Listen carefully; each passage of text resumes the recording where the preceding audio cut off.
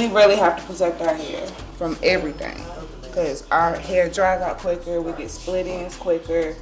So it's just important for us to just protect it so it don't break. Locks is a protection in itself. It's our heritage, all the way back to our ancestors with locks. That's just, you know, that's just how our culture grew. I don't know what the stereotype, like how it got started, but I do know like it is real. Like people really do have a stereotype against people with dreads. I've heard a lot of like my hair's just messy. It's unprofessional. It's unkept. Um, it's dirty. You'll see how people will look at you or people will clench on and stuff. Or, you know what I'm saying? Like when you walk by, lock a door, any of that. I done been in stores before where like they be looking one way and then they turn around and see me and their whole demeanor changes just off of just taking one look. If you see a, a Caucasian, they have a, a, a, bald head, you're not gonna you're not gonna think they're a neo-Nazi.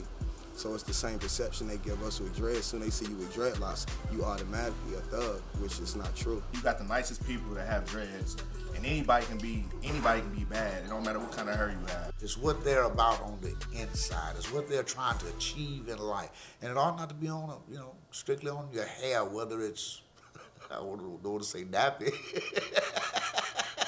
but whether it's straight, whether it's curly or whatever, dreadlocks, whatever, cornrows, however it is. You know, I mean, this is this is unacceptable. They shouldn't look at it as if we have to take them out of our head. I feel like they should look at it as it's a part of our culture and they should respect it. And to just cut them off because you don't like the way they look, you know. I mean, I don't I don't know too much to say about that. But when we're getting to somebody's hair, uh, I think that is definitely an attack on different cultures, and that's something that we as West Virginians shouldn't stand for.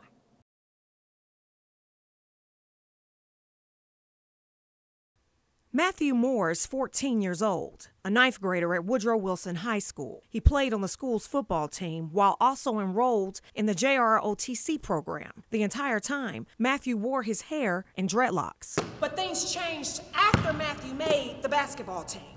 And was approached by the varsity coach. He said I couldn't play unless I uh, I took out my dreads. Referencing a policy that states his hair must be kept neat, leaving his family extremely confused. So, what was acceptable last week is not acceptable this week. Do I think my son's hair is neat? Absolutely. Faced with being benched, Matthew made a decision. How to do it, how to do play basketball. Your natural hair locks together, so the only way to take it out, which he took upon himself, was with a metal comb just ripping his hair out. He felt like he was backed into a corner and had to make a decision. A decision Josiah Hatch says he also faced playing for a baseball team out of state. The baseball coach told me to cut my hair and said if I didn't, then I wouldn't be able to play on the team. Josiah chose not to cut his hair. He relocated to West Virginia. He says what Matthew experienced at Woodrow Wilson is stemmed from someone's negative views of dreadlocks, and he feels many people across the country are making a conscious choice to not educate themselves about black hair. One man told me that uh,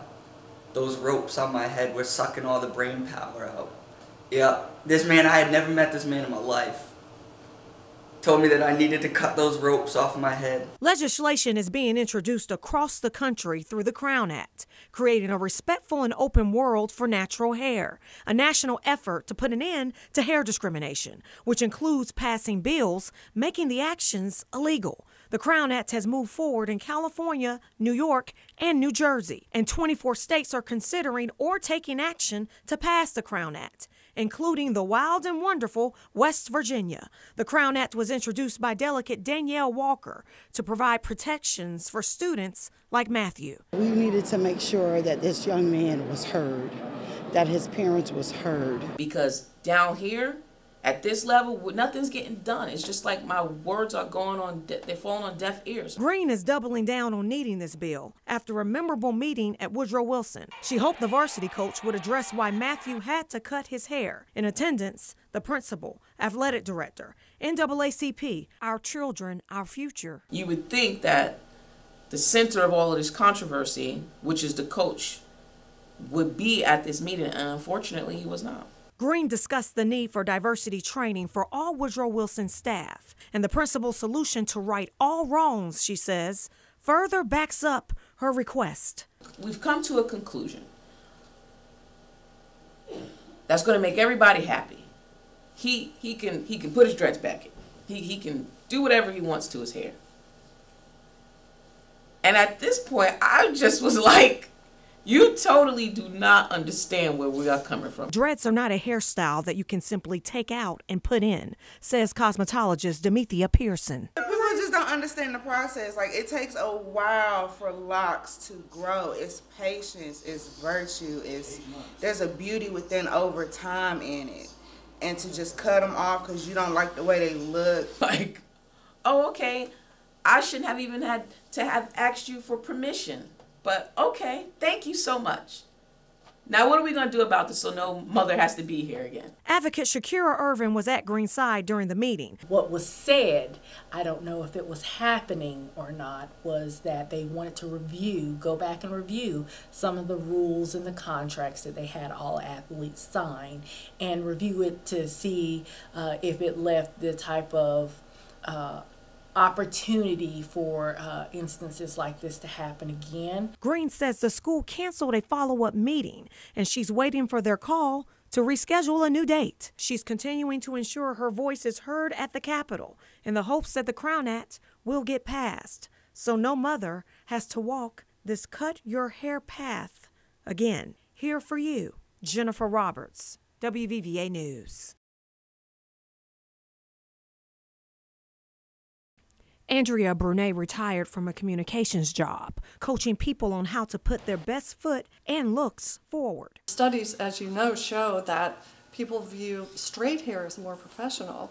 Normally, that's the advice I would give people. Unless your hair isn't naturally straight. No, if your hair is not straight, why should you have to go through all kinds of chemical processes just so you can fit some artificial ideal of what's acceptable. According to the Crown Research study, what's accepted for many black women in the workplace isn't natural. 2,000 women were surveyed across the country, half black, half non black. All work full time jobs. 80% of the black women felt they have to change their hair from its natural state to fit in at the office.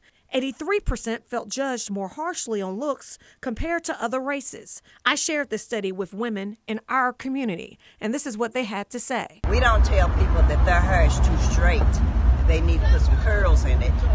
So nobody has the right to tell us that we can't look the way we were born. This is my head. Uh, I'll do what I want to do to it. You do what you want to do to yours. It's my hair. It's me. You trying to tell me I can't be me? Who are you to tell me I can't be me? This is the way we were born. And we are curled naturally. Patricia Gomillion says a close friend was discriminated against because of her hair. Her hair was natural. And they told her that she would have to do something with her hair, perm it or do something, or she may not have the job. So she told them that she would have to write her resignation. Tiffany Cross shares her experience. I was in the office and the general manager told me that I was getting a little crazy with how my hair was. And I said, Oh, my ponytail? Because it was exactly like it is right now. If you're born with thick hair, if you're born with curly hair, if you're born like me with straight hair that won't do anything but stick straight up, why can't we just embrace who we are as people? Showing hair love for all. Here for you, Jennifer Roberts, WVVA News.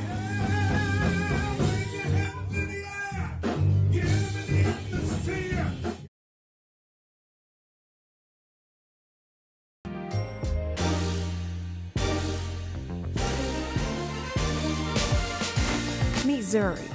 She's in love with her natural hair.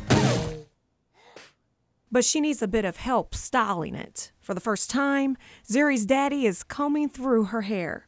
And it's a bit of work. In the end, it's all worth it because Zuri can visit her mother at the hospital in the hairstyle her mother embraced and loves. Hair love is touching the hearts of families who relate to this hair journey, but its reach is bigger than you may think. And the Oscar goes to Hair Love, Matthew A. Cherry, and Karen Rupert Toliver. That's right, Oscar winning. And the faces behind the animated short spread their spotlight from the trophy to the roots of the film. Hair Love was done because we wanted to see more representation in animation. We wanted to normalize black hair. Promoting hair love for young men and women of color. Producer of the film, Karen Toliver, tells WVVA how these images are shaping the way a child views the world. It's at four and, five years old that you really start to shape your identity. Wanted to put positive images out there so the next wave of kids really get to to see images of themselves. And you know, I grew up in an era of assimilation, and I didn't have cartoons that really looked like me. It was all about trying to look a different way, and I think that that really eats at your soul. And this issue hits national news and our backyard, with students being told to change their natural hairstyles, including Matthew Moore, a student at Woodrow Wilson High School. Matthew and his mother, Tarsha Green, say the basketball coach told Matthew to change his dreadlocks or be benched. How to do it, how to do play basketball. Your natural hair locks together, so the only way to take it out, which he took upon himself, was when a metal comb just ripping his hair out. He felt like he was backed into a corner. Toliver hopes the West Virginia bill banning hair discrimination passes to protect students like Matthew. Until then, her message to all families going through this same struggle. You're not alone, and stay strong and love yourself and have courage. It's a shame that we have to po- uh, have a policy to p- police and protect our hair, but if that's the beginnings of protecting ourselves, then, then, then we have to do it. Here for you, I'm Jennifer Roberts. WVVA News.